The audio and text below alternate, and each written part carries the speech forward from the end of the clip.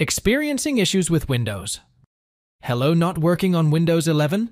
I'll share a fixes to resolve this problem. Stay tuned for a quick solutions to ensure seamless and secure biometric authentication on your system. Press the Win plus I key combination to open settings and go to Accounts from the left tab.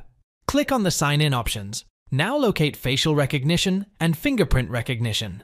Choose the one throwing errors, we selected Fingerprint Recognition, and click on Remove. Now click on Setup and follow the on-screen instructions to set up new facial and fingerprint recognition, as the case may be. When done, restart your computer.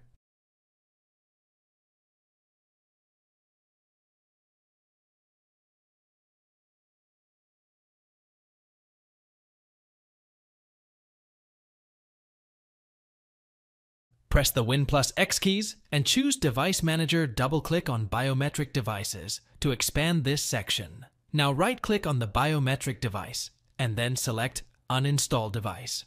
Now tick the Attempt to remove the driver for this device checkbox and click Uninstall. At last, reboot your computer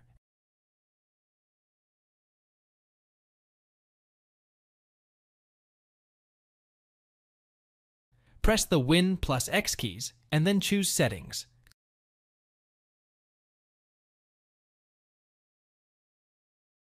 Click on Apps, choose Optional Features. Search for Windows Hello in the search bar. Click it and then choose Uninstall.